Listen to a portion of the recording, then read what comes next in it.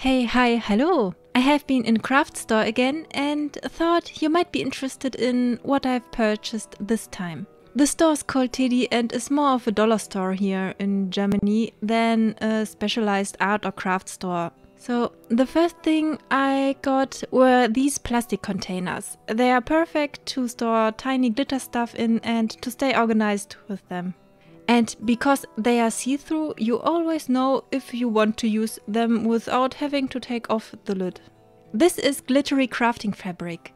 It has the material characteristics of leatherette, but it is completely covered in glitter. I thought I might create some doll shoes out of it or tiny doll handbags. I imagine that you could also use this for some backgrounds of fancy invitation cards.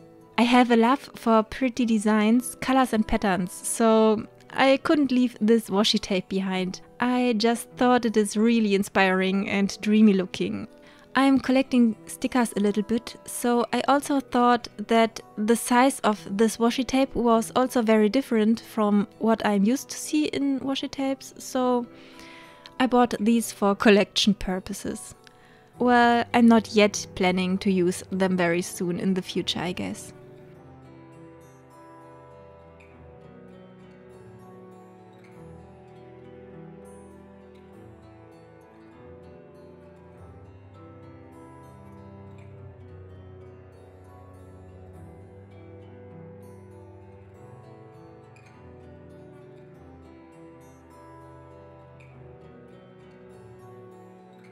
This set of the typical sized washi tapes I'm actually planning to use for some paintings to get some crisp lines for the edges. I hope they will stick properly to the paper though. If not, I'm sure I'll find another purpose for it. For these fabrics I have a concrete plan. I want to use them as a coverage for a book that I am planning to bind. I think I want to make a video out of this process as well.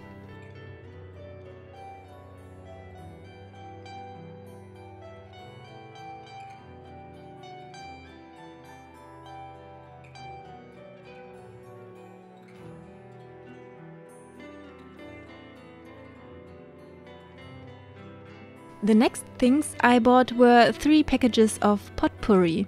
These are dried out leaves that have been colored and also perfumed. They are typically used as sprinkle decoration to make your room smell nice, but I imagine that they can be used in some crafts as well, because they also have very vibrant colors and an interesting form.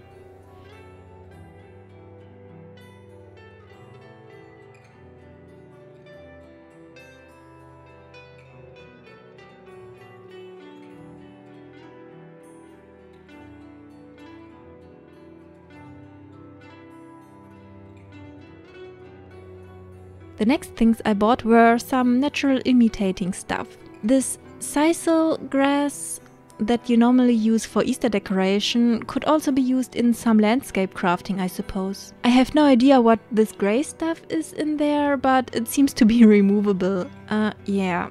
The coconut fiber and this decoration wood grass can also be used for crafting some natural stuff. Actually, I have already found a use for the wood grass. In my last video I made a teeny tiny bird's nest out of it.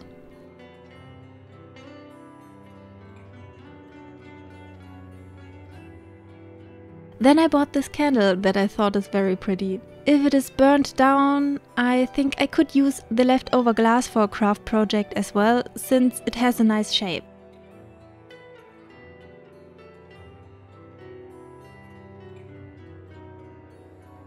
Um, the next three things were these decorative borders. I can imagine to use them for several craft projects. For example, to create tiny doll clothes or as decoration on some gift cards.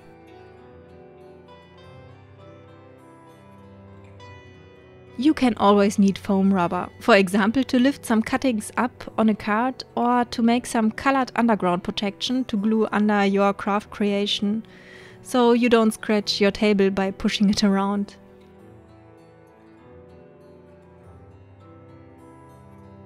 Um, this is some cardboard that is covered in glitter. I wanted to have an alternative to the glitter fabric. For some surfaces, the cardboard might be the better choice than the fabric.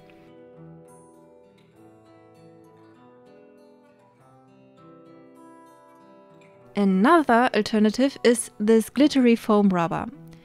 Depending on which surface I'm going to use it on, I choose one of these opportunities.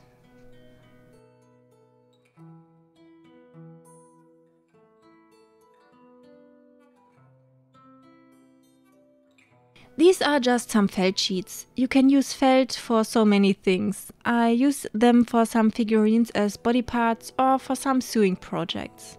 You could also use them for needle felting or as an underground for a crafted landscape.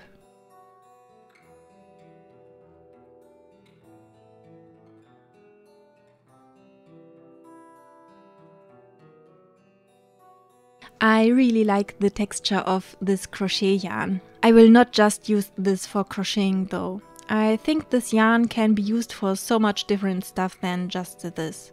But yeah, I also want to crochet something in a future video. This white fuzzy yarn was not that cheap unfortunately, but I hope it is worth it.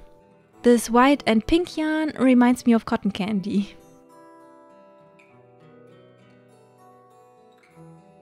I think these tiny wood slices in different sizes can also be used in several craft projects and at least for painting on them.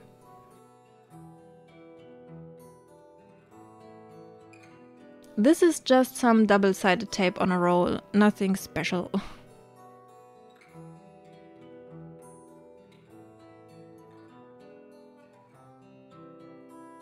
The next thing is this foil glitter. I have already used this in my last video as well. I covered a wired tree in this glitter to make it appear as if it is a cherry tree that is full in blossom. I have also found these tiny crafting bottles. They look so cute. I could make charms out of them or just miniature decorations with clay.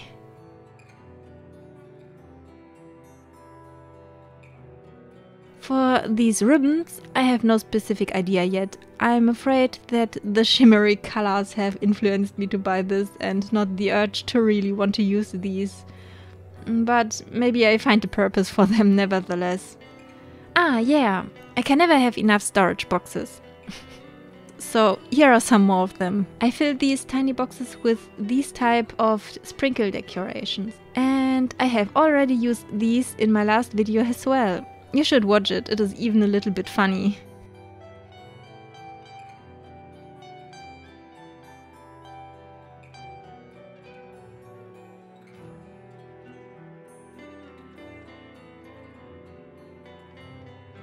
I personally think that you can always use some wooden letters everywhere.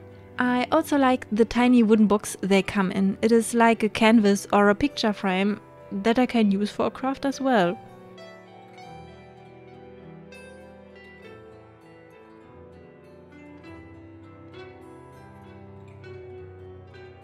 Here we have some twines in different earthy colors. You always need twines, I think.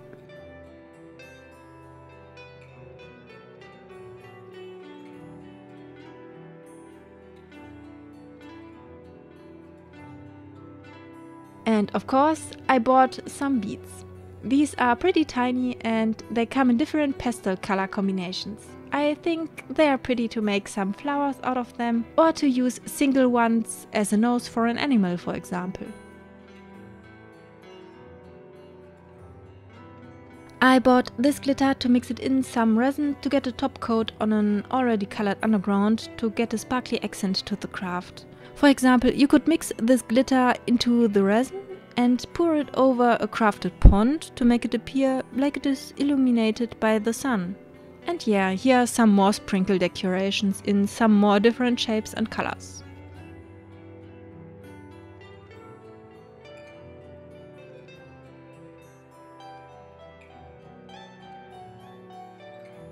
I think these mini dolls are so adorable. They are such a simple but very cute craft. I think they are perfect to glue them on top of a birthday present or to use them even as an ornament for a Christmas tree or an Easter bush. Therefore, you just need to glue a hat or some bunny ears to their heads and then your decoration is done. And even if you don't like them anymore, you could take them apart and use their limbs and heads for other crafts. And here we have some stickers again. I thought maybe I can put some other pictures inside the frames or put even a mirror tape inside to create an old mirror for a dollhouse. Or I glue a tiny handle on them to create a fancy hand mirror for a doll.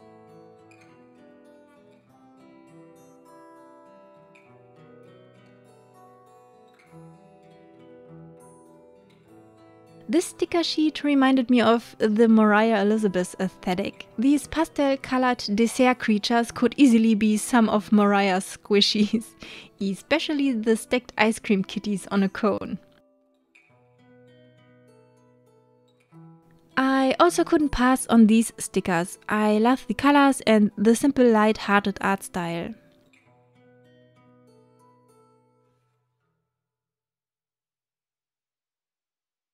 I love the colors on these stickers as well. Pastel color gradients on planets, stars and moons. Yes, please. and yeah, snacks and cookies with faces. And squiggly mouth. How could I not?